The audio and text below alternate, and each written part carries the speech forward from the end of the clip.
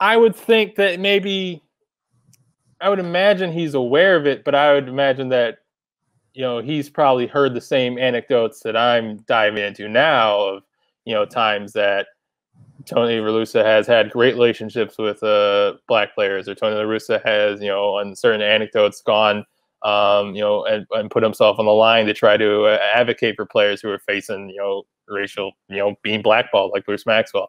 I'm I'm sure there's a lot of these standalone uh, you know, anecdotes of him, you know, acting equitably that he would say like, well, this guy, um, you know, he'd probably put it maybe the way that Tony put it was like he doesn't have a racist bone in his body, which you know, sure, great, but I always feel like a lot, you know, misses the point a little bit. It's not about whether or not you are an active, avowed, intentional racist. It's about whether or not you have blind spots or you have, you know, not complete uh, cultural sensitivity or awareness where you're not you're missing things or you're making people feel like they can't air things you know there's there's there's a whole level of uh, gaps in management and also just interacting and understanding and showing empathy to people that uh, exist between being yes a racist and not a racist that there's there's still uh, you know to count for so i I'm glad he's not a you know avowed racist. Like that's great, but the standards the standards are always going to be a little bit, uh, you know,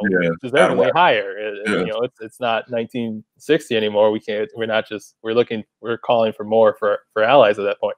And I think he's aware of that. But also, I I, I would say the the judgment is that he's getting there, not that he's someone who I don't think he has immediately on day one the level of cultural awareness that Rick Renteria had, uh, you know, on his last day uh, in this job. So I, I think that's a a gap they'll be filling over time, and you know that that's something to work through over the course of the season where you're expecting big things.